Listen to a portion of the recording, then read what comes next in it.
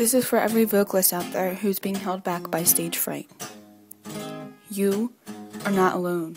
Stage fright is a feeling of nervousness someone gets when getting in front of an audience or body of people. Some know this as performance anxiety. Up to 90% of people have some form of stage fright.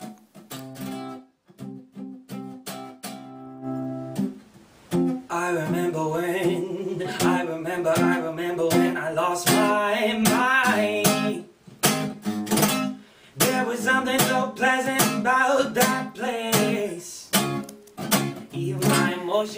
Don't forget twitching, pacing, tapping, sweating, clearing the throat, blinking profusely, coughing, sniffing, hissing, and grunting. Fight or flight is our body's primitive, automatic, inborn response that prepares the body to fight or flee from perceived attack, harm, or threat to our survival. However, our subconscious doesn't know the difference between a tiger that could potentially attack us and an audience we're going to be looking at how the subconscious mind affects performance and can help you really overcome a huge amount of stage fright. In fact, it can really embed the sensation that you're really enjoying your stage performance.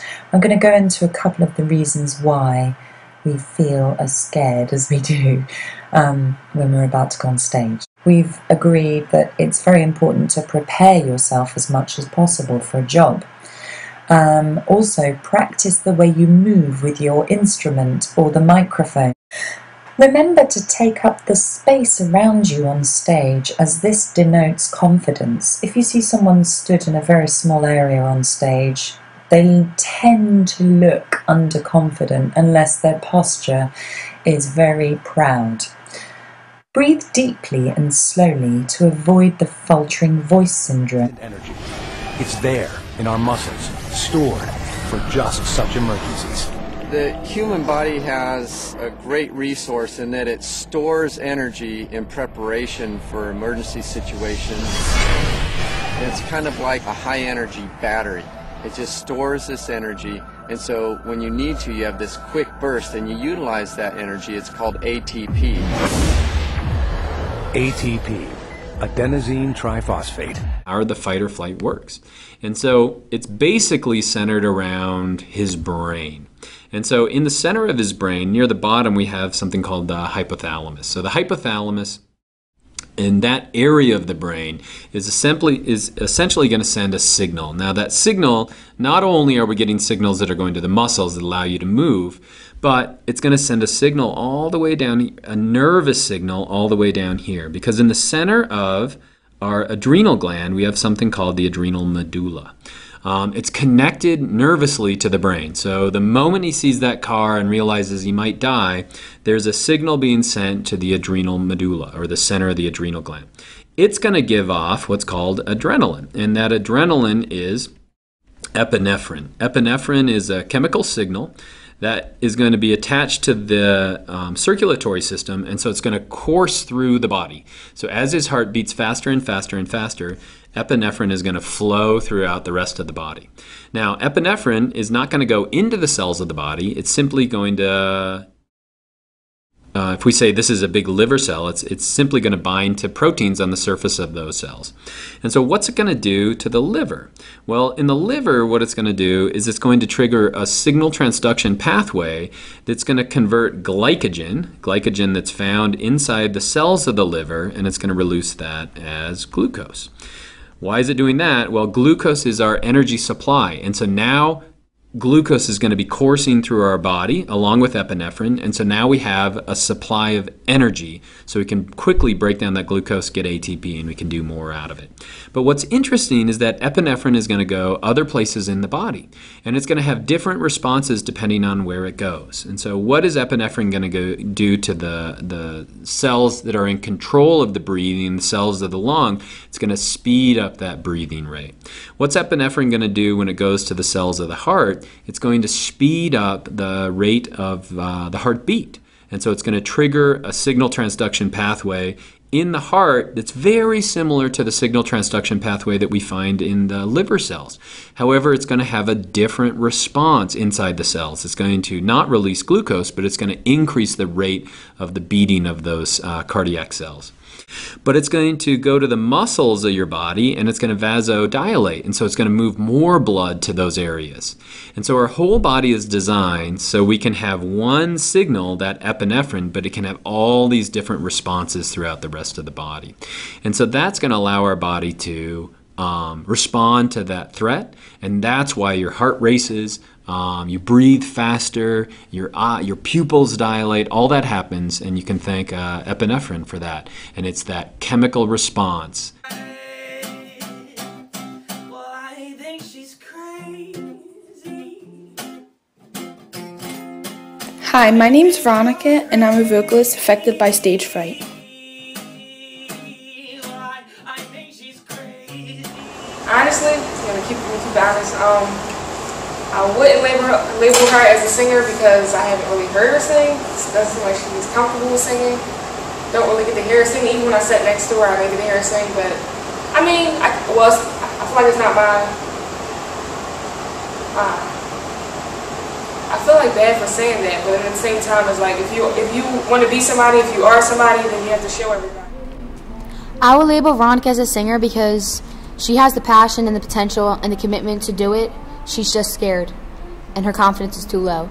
So when your confidence is too low, like I said before, it makes you doubt yourself and everything you're doing. And I believe that she can be a great singer. She just has to push herself.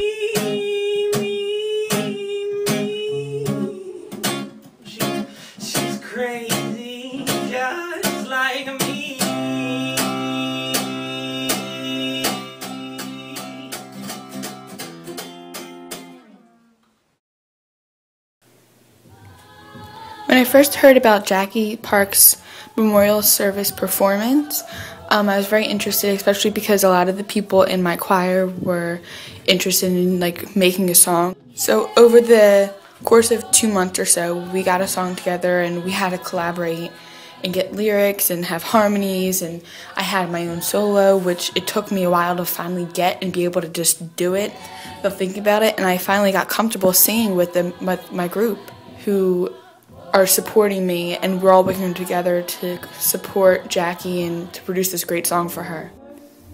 This was a huge step for me in my journey to getting over stage fright, and it was a great stepping stone to get experience under my belt.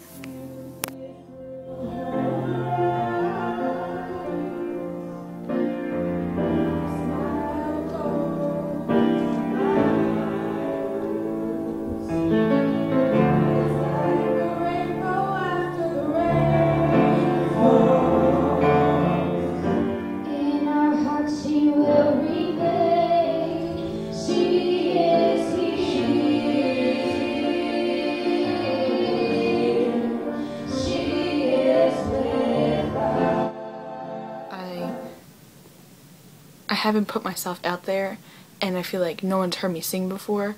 So I actually like took a step forward and I actually put myself out there and I had a, solo in the song. Another milestone in this journey was me auditioning for the school musical. Being someone else beside myself allows me not to be timid and let stage fright overcome my body. Instead, I feel like I am someone else's body, and that comforts me to be in character. I just was really inspired by my best friend Maddie to go out and try for this musical because I love musical theater. I love the genre. I love acting. I love the singing. I love every aspect of a musical. So this year I went out and I was scared because you have to audition, but once I got my song, I just got into character. And when I went on that stage to audition in front of Miss Mentor and Miss Wojcik, I was just like, this is it. You're in character. You're not nervous. You own the stage, and you can do this. I, I was a little off on pitch, but I walked out of that audition feeling great. It boosted my confidence. It helped me learn how to be in front of people for an audition. And there was a lot at stake. And I walked out knowing that I left my heart and soul on that stage. The nerves will always be there, but you got to have something that's stronger in telling the story, building the story, who you are in the scene, what do you want, who are you talking to, really making that world for yourself. So if you know that you know that you know what you're doing, you know where to put that energy. If you are nervous and you can't shake those nerves, you are probably not prepared. I used to get really bad stage fright when I was younger, but I've built up a confidence through all the shows I've been in, and I've noticed when I really know my material and go over it a bunch of times and know I'm not going to mess up, that gives me the confidence when I go out in front of judges or in front of a huge audience. I know my stuff, so I know I'm going to put on a performance that the audience will like. Before I even get on the stage, I'm really nervous. Like I'm sweating. I'm like, oh my god, what am I gonna do? But then when I step on that stage, it's like this confidence just just builds up inside me, and all the stress and nervousness just flows away. So I'm not nervous anymore, and then I become the character I'm supposed to be. I'm very, very much nervous. I suffered always of stage fright. And because because it's so different, when I played in the piano bar, everyone uh, was drinking and speaking, and also probably listening to the music. But but basically, everyone was doing different things.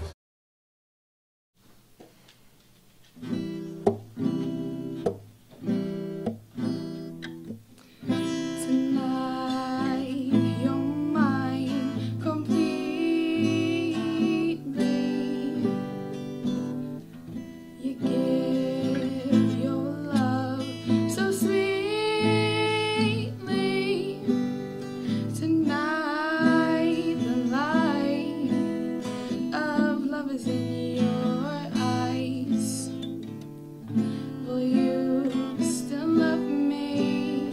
tomorrow? Doing masterclass is a really big deal for me. Um, freshman year, I probably would have just took a zero and not did it, or I would have talked to Miss Spencer, tried to do it after school just by her, and I'd still be nervous because I don't like to sing in front of other people.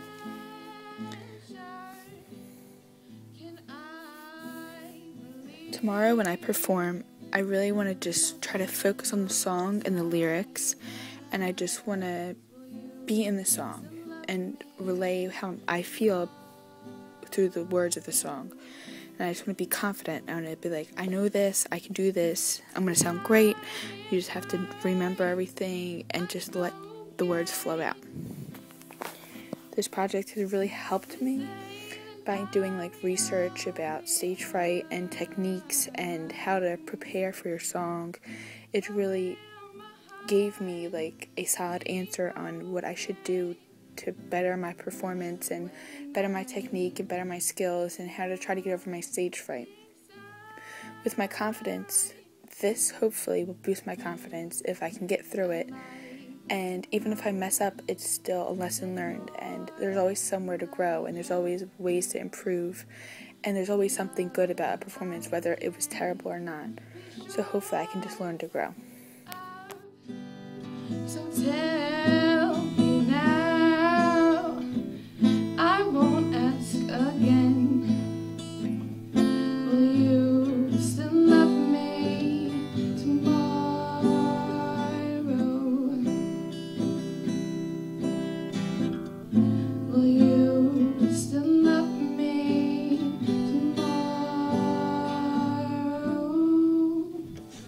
the next few clips, you'll be seeing videos that I found on the internet that gave me great pointers and tips on how to get over stage fright. How do I overcome stage fright? By the way, this is just this is not something that's uh, relegated just to the new singer. This is people at you know different stages of singing, and they could be uh, you know semi-professional, even professional singers that have issues. In fact, Bon Jovi himself said he still gets nervous when he goes out on stage. So understand it's a phobia that we deal with, and something that's in our mind, and we actually regulate and uh, uh, relegate uh, to ourselves and really understand what is fear, how do I deal with it, how do I overcome it. So let's talk about some of the scenarios. It says, um, you know, stage fright is the entire collection of scenarios you tell yourself in the brain, whether it be one to a thousand, uh, that uh, culminate into one final thought, is this going to be dangerous? Now, let's talk about uh, the different stories your brain can tell you, different variations here. One is, Um, well, gosh, I'm just not confident with my voice. Valid, you know, fear, right? We're going to talk about that in a second. Uh, what if I blow chunks on stage and you know everyone hates me? That's valid too. Uh, talk about that in a second. Uh, what if I forget the lyrics? Another valid point. Uh, what if I can't hit that ever elusive high note? I worked on it so hard, and when I get to that note, I blow chunks on the note. Another valid point. Uh, what if my voice cracks and I sound terrible? Or uh, what if they hate me and they want to boo me off the stage? Or what if I make a fool of myself? Or what if no one shows up? So we're going to start with just a few of these here first. I want to address these one at a time. First thing is, you know, I'm not confident with, with my voice. Well, I want to talk in a minute about what brings about confidence, and it's not just because you're awesome, though it could be, and, and maybe uh, there's lots of singers that aren't that great that because of their confidence, people believe in them and, and they believe they're great, so they sell themselves as being great. That's one thing. That doesn't make a great singer, it just makes a great entertainer, which is really important. Second thing is, what if I blow chunks and people make fun of me? Well, depending on what level you're at of your performance, if you're performing for friends and family or whatever, and people that are coming to see you, they're your fans. They, they don't want to hate you. They're not standing there with their arms crossed waiting for you to do something wrong. They're behind you. They, they want you to succeed. So I want you to remember that in the psychology of what it is that you're thinking about yourself. Um, what if I forget the lyrics? Well, lots of people forget lyrics. You make up lyrics or vowel sounds or something, you joke, you, you, you uh, laugh about it and you joke about it, and you move on and you do, you do something. Mick Jagger in Rolling Stones has forgot his own lyrics, so that ought to tell you something. Um, what if I can't hit the high note of that one you know, note in the one song? Well, we work at that and we do our best, and repetition brings that about by being consistent and being relaxed and being confident that the high note isn't really the high note, it's about the psychology of hitting the high note. We'll get to that in a minute. Uh, if your voice cracks and you sound terrible, well, that happens. Doo-doo happens. It doesn't mean your career is over. And remember that someone's momentary amusement is your lifetime embarrassment. Or let's say this another, another way. Your lifetime humili humiliation is someone's momentary amusement. So your lifetime humiliation of this one note you couldn't make is somebody, ah, that guy didn't get the note. But it's so, you played this up so big in your mind, so that's a, a phobia, and we want, want to talk about that. So, uh, you know, what if I make a fool of myself? Uh, what if nobody shows up? Well, nobody shows up, then you got nothing to worry about because you didn't have to sing for anybody. How do we get over it? The first thing is preparation. Very, very first thing. We prepare like John Wooden, John Wooden, W-O-O-D-E-N. I want you to look him up on the internet. He was one of the greatest basketball coaches of all time. He over-prepared his team so much that when it came game time, they were so over-prepared that he literally, true story, it was just about the fun of the game because they were so over-prepared that they were just awesome. And by the time they hit game time, it was like, the game is nothing. I've over-prepared for this so much. So stay so within your element when you actually do your performances and overtrain for them. If you're willing to go to the step up to the task and do this overtrain for them so much that by the time it comes game time game time all of a sudden it's just fun in overcoming your opponent okay? By the way it's not about a competition overcoming your opponent but i'm just using this as an analogy to that exposure. Let's talk about exposure you repeat this rep if you have this repetition and you're willing to first sing for friends who love you they probably won't say anything bad about you but who love you then, people who love you, don't ask them to be critical like, I hate you and what don't you like about me, because then you become self-conscious. But just do it for them. Say, can I sing this for you a bunch of times over and over again without you freaking out? Because something I've got to feel comfortable around singing a bunch around a bunch of other people. Take it to the next level. Sing for your church, a solo. Sing for the promenade, the street promenade. Go to a karaoke bar. Sing in front of other people you don't know so that you can get the experience of, of, of, of getting a feeling, um, uh, you know, the temperature of what other people think about your singing and record it.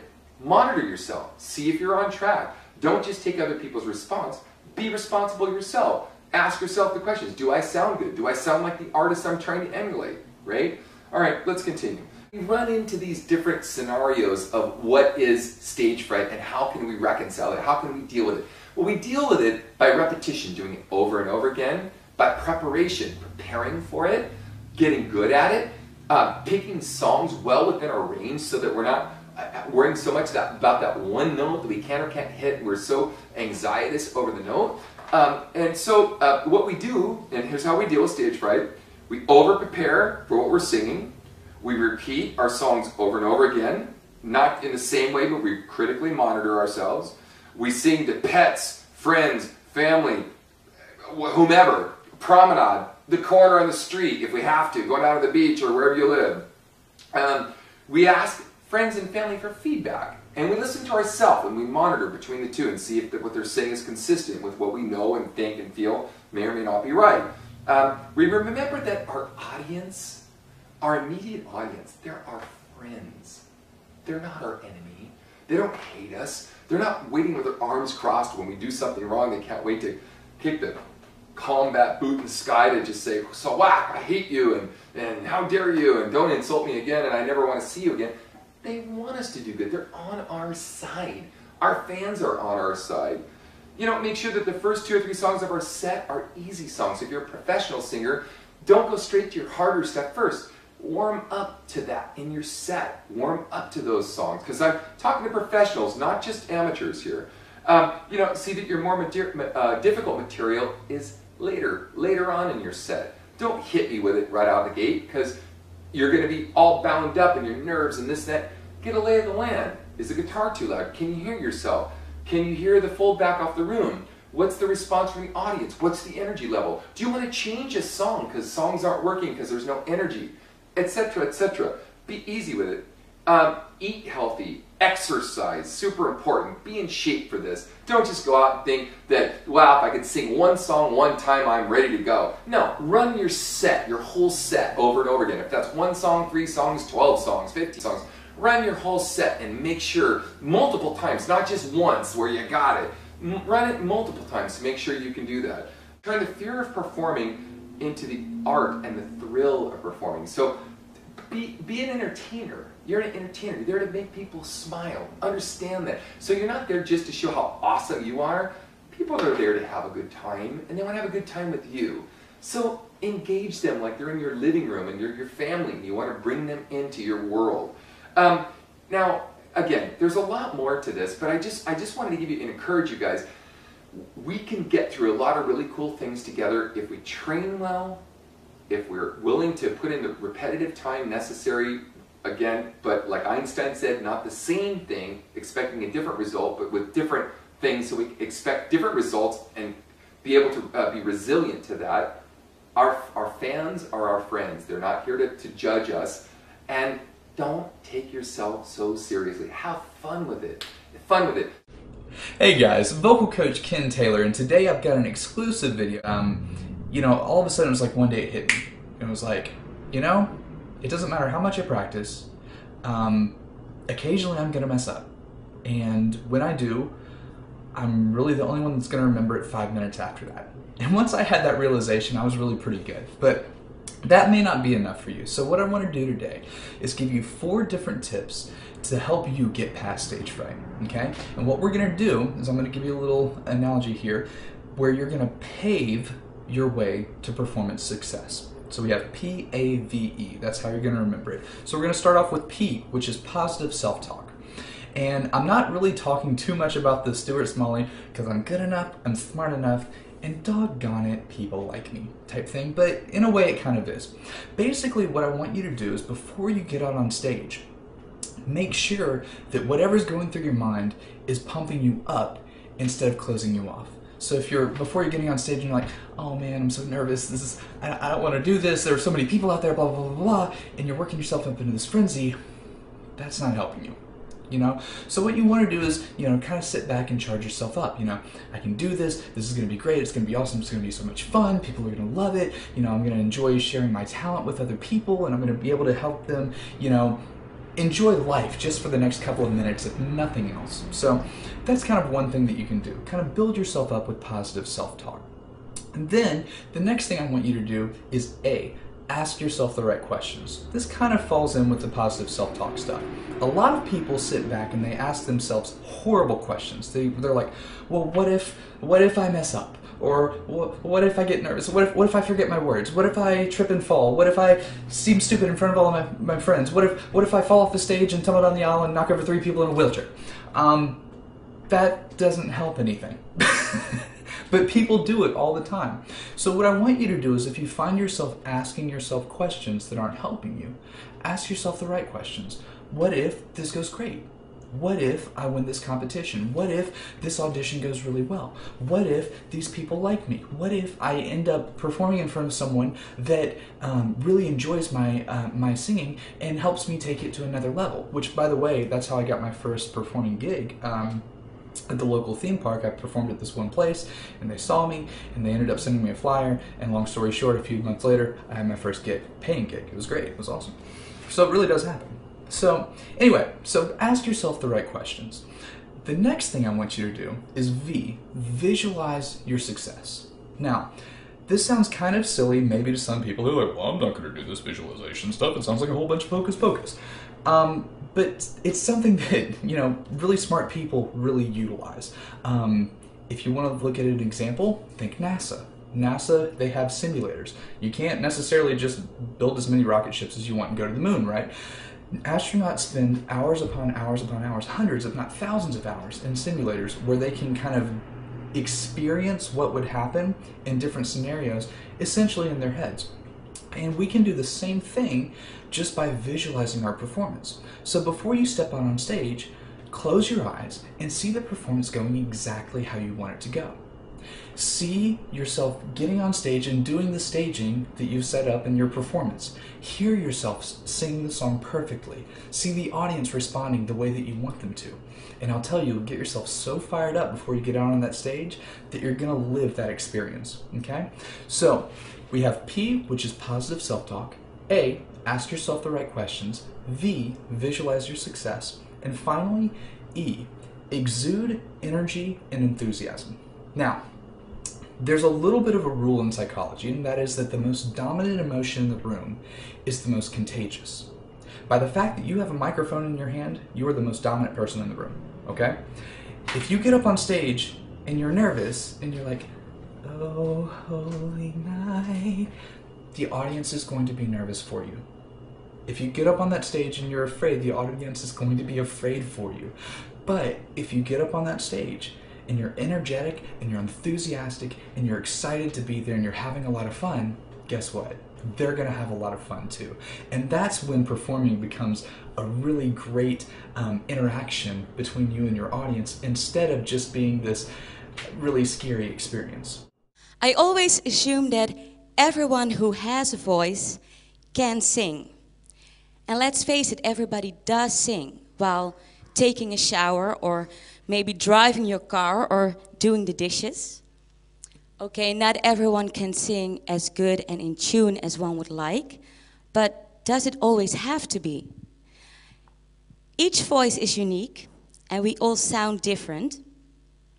And fortunately, artistic values are not always the goal. More important is the positive effect you will experience by singing. And this experience may be different for each one of us. It can give joy or inspiration, and it can be uh, entertaining or emotional. And for non trained singers, it can also be scary and naked when they're on stage singing in front of an audience. Conquering this fear and exploring your boundaries leads to more self confidence and it will give you pride and self esteem. But Singing is more than just singing a song. There are uh, numerous scientific studies proving the positive effect singing has on your mood and on your physical condition. Uh, according to a recent study published in the Journal of Advanced Nursing, singing increases the oxygen level uh, by breathing deeply while putting the muscles in your upper body to work, keeping you fit. If singing is good for your mind and body, it can do you no harm. It's a pity youngsters forget that singing can also simply be a fulfilling hobby, just like football or tennis. Achieving world fame is just for a few of us, while enjoying singing is granted for everyone. Obviously, there are a lot of reasons to sing, and whatever your motive may be, don't forget that you don't have to be a star to get something out of singing. Everybody can sing.